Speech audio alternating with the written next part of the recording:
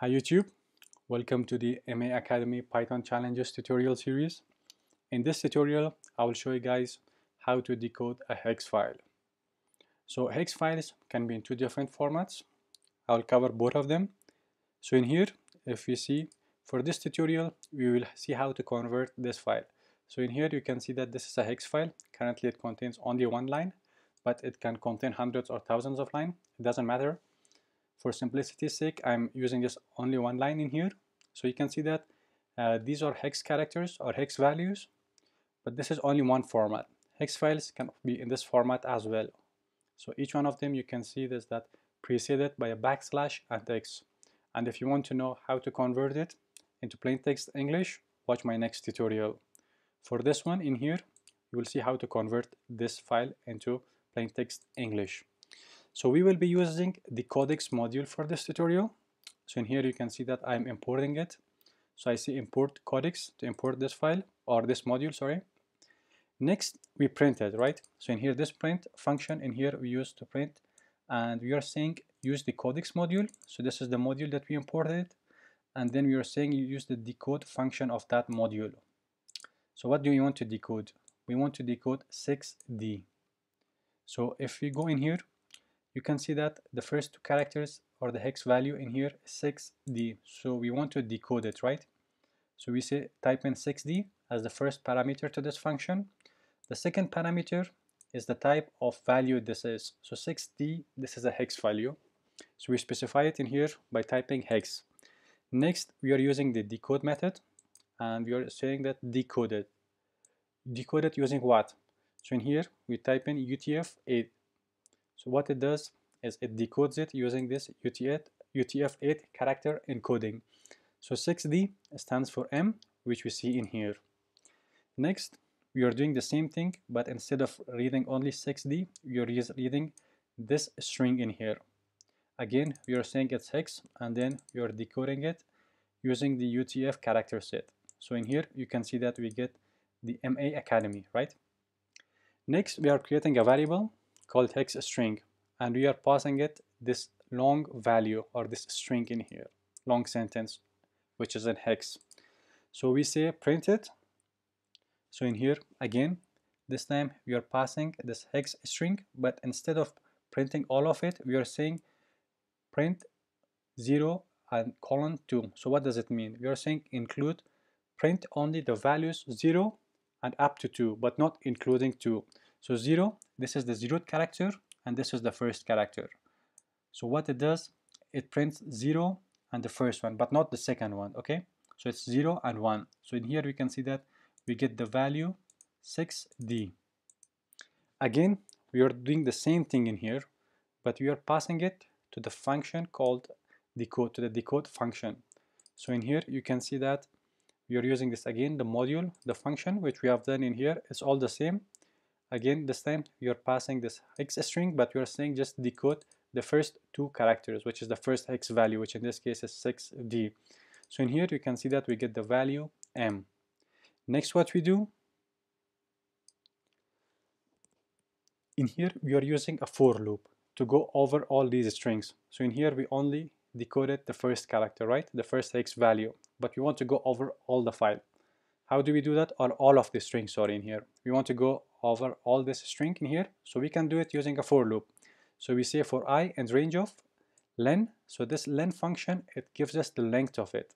Length of what? The hex string variable. So we can see that this is the hex string variable. It gives us the length of it, how many characters there are in this file. And then we are dividing it by 2.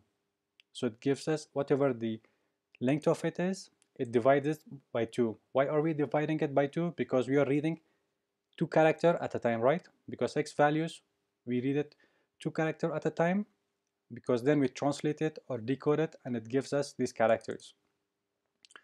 So this in here, as I said, gives us the length of it and this we are dividing it, but we are using these two forward slashes.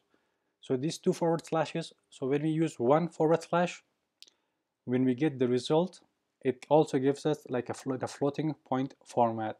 So what it means is if you are dividing a number by another number, at the end of it, if there is a decimal point, so to the right of it, it will be like 4.0 or 5.0 or 3.333 or 2.51 something like that whatever it is.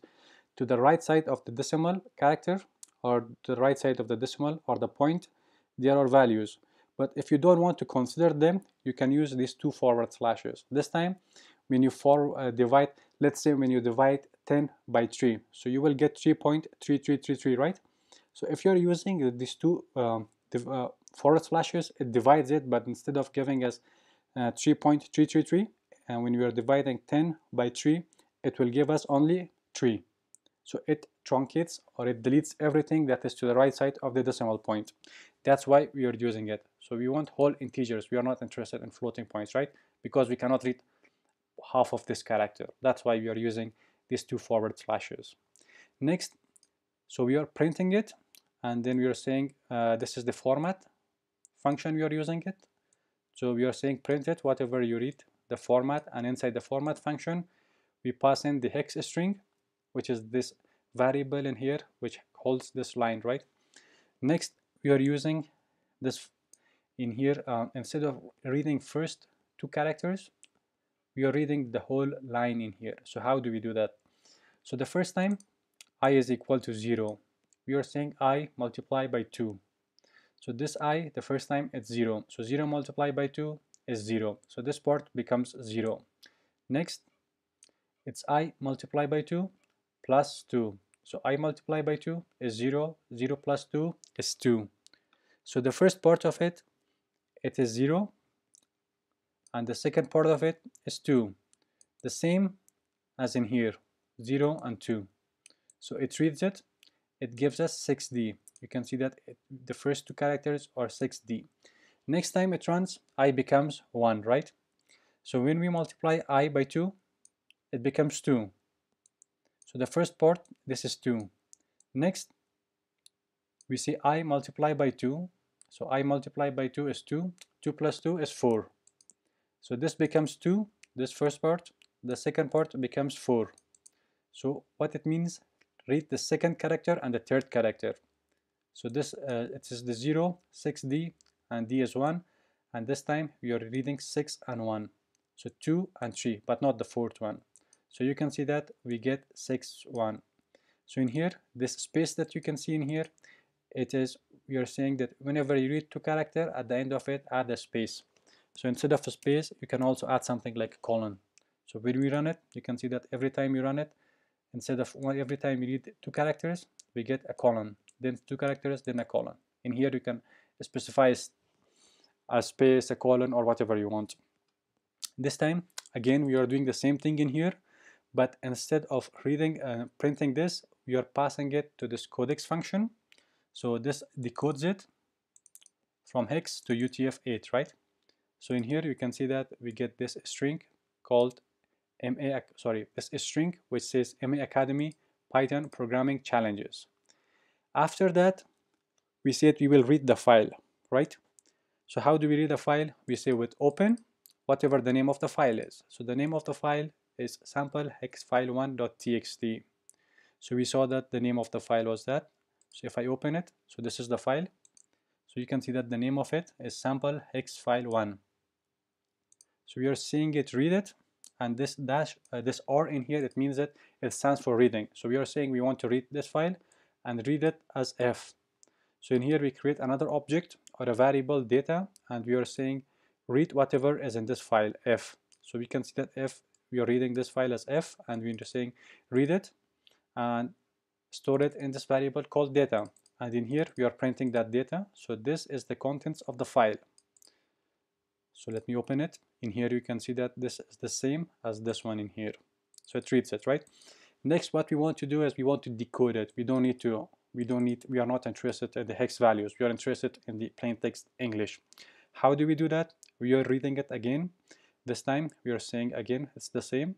But this time instead of printing it as we did in here we are creating another loop. So we say for i and range of again it's the length which we discussed previously. Length of data whatever this is in here. Take the length of it and divide it by 2 same as we did previously in here. Then we are saying print.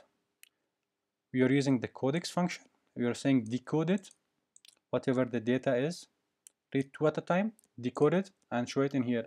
So in here you can see that it gives us the value of or the string MA Academy Python programming challenges. Now this file, it was quite uh, short. It had only one line, but this line, this file can be hundreds or thousands of uh, lines long. You can do that easily using this program or this script in here. It's quite simple. I explained it all in a very uh, long manner, but I wanted to explain everything uh, one by one, step by step, so that you guys could understand. You guys could understand everything in here. So I hope uh, you enjoyed it, and if you found this tutorial useful, make sure to share it with your friends. And if you have any questions, suggestions, or recommendations, feel free to put it in the comment section below. And I'll see you guys in the next one.